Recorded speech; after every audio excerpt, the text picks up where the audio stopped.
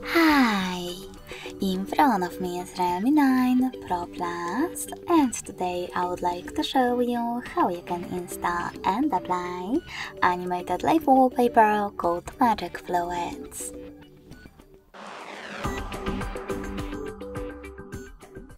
First of all, go into Play Store and click on the search bar.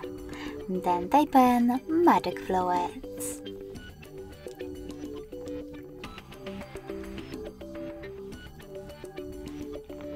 Following that, get this free app from Mad Scientist developer and when it's ready, open it.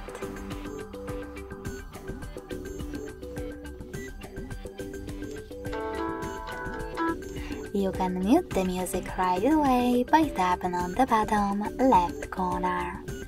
Then click on bottom right one on those three lines. From the list, click on Settings. Tap on I accept in First Things First pop-up and finally, check out all of those options. When you finished, tap on the top right corner and bottom one again. This time though, select Set Safe Wallpaper,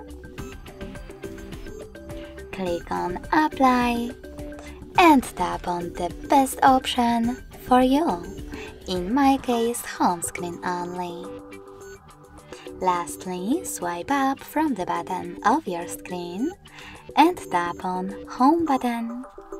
As you can see, after that, my wallpaper was successfully applied.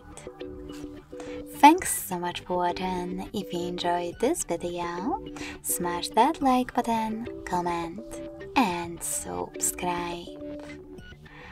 Bye!